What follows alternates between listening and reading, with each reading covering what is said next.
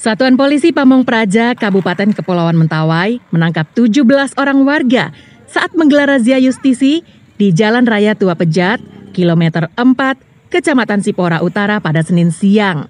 Mereka dinilai melanggar protokol kesehatan COVID-19, terutama tidak memakai masker saat keluar beraktivitas. Mereka yang tertangkap dalam razia kemudian didata oleh petugas untuk diberikan sanksi karena sebagian besar adalah remaja, mereka diberi sanksi push up, hormat bendera, atau membacakan Pancasila. Bagi yang pertama terjaring hanya diberikan pembinaan dan berjanji untuk tidak mengulanginya. Nggak, mau pergi ke mana? mau ke rumah Mau ke rumah.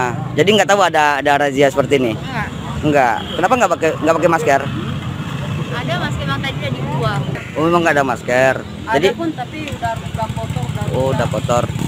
orang orang saya mau ke TPI Kepulauan Mentawai memang tergolong daerah kuning atau rendah risiko penularan COVID-19.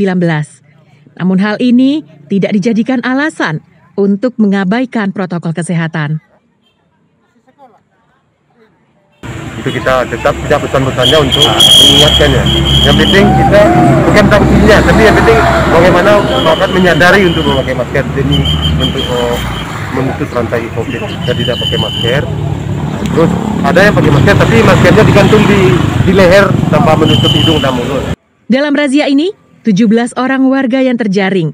Mereka kemudian diberikan masker satu persatu agar selalu digunakan setiap beraktivitas di luar rumah.